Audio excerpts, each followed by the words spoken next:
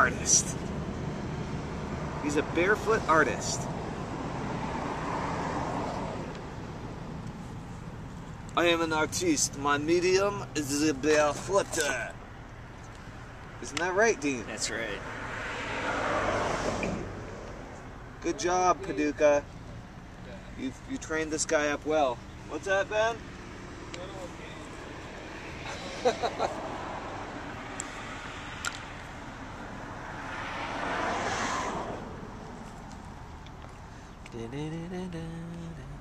Foot sculpting.